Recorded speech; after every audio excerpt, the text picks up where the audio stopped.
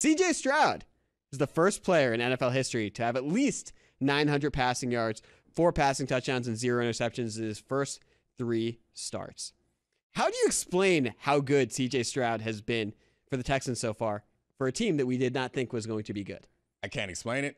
I don't know. Let's stop pretending like we know, uh, like we know what quarterback's going to be good. I have lots of beliefs that this seems to shake my beliefs. So, like, I don't know. CJ Stroud was not like uh, when we were having conversations about who should be the top pick. Like, it didn't seem like anyone gave CJ Stroud uh, a reasonable look, and now he seems clearly to be the best person or the best player uh, or the best quarterback in last year's draft. And normally, the way that I explain that away is by pointing pointing to what they are surrounded by.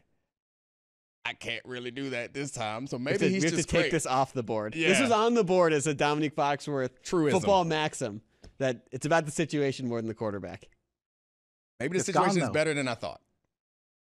It's not though. What are you talking about? They're down. Maybe. They're down four, three, four starters on their offensive line right now. Maybe- Larry Tunsil. Maybe the backups not- are better. Maybe. Maybe, maybe the backups are better. Maybe uh, they got a good coaching staff there. Not out of the question. To be fair, he's the only one of those three rookie quarterbacks who played this week because the other two guys are hurt. Yeah. So maybe that's why he was able to show off because he was the only one actually playing. But what what I've noticed in watching him play, especially this week when I watched a little bit of the, what I saw, was just the ball is coming out on time. Like he looks confident in the pocket. The ball is coming out at the back of his drop. He knows where he's going with the football.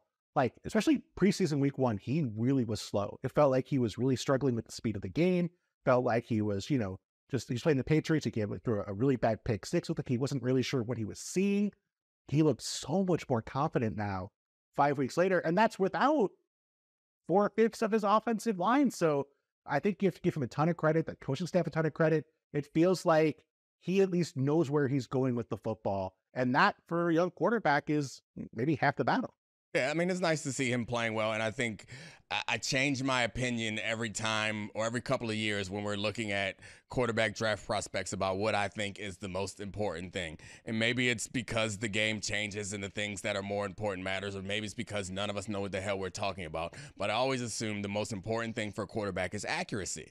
Because I, I feel like you can have a poor read on coverage. As long as you can put the ball where you want to put it then you're fine. Or you'll be okay. You'll be better off and you can learn these other things. But it's starting to feel like with the like modern game it seems like that decisiveness whether it's uh, being coached well to ha- get a good pre-snap read or also just being able to process really quickly it feels like that's the most important thing right now that i will be looking for is a quarterback that i know is going to hit that last step in their drop and be decisive with the throw that they made, or a coach that I know can simplify the offense to the point that I don't have a quarterback out there processing. Because it seems like the real killer is guys who hold on to the ball too long. Yeah.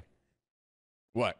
Domonique wants guys to get the ball out, and that is it. They don't think about it. There's no brain power committed to. Ah, I can't. Going- I can't deal with you guys and your. Uh, what's the point of progression? There's no. I'm not saying there's no point of progressions. I'm not saying it's the only thing. I'm saying that when I'm looking at quarterbacks, we got all excited and then we got we caught the Josh Allen disease, and everyone was looking for guys with tools, and now I'm moving in a different direction. Give me Brock Purdy. Bryce Young just went first over CJ Stroud and Anthony Richardson. True, we good do point. not have Josh Allen's disease in this draft. He is smaller than Justin Tucker. Uh, Trey Lance, uh, Yep. Justin Fields, uh, who else? Um, Richardson, but yeah, Richardson, Richardson. is the toolsiest Who guy around. Anyway, Who looked pretty nice for a quarter for a game and a quarter before he got hurt. So All right, I started off by saying we don't know what we're doing. I think that was what it, where we should end it. We don't know. General managers don't know. Coaches don't know.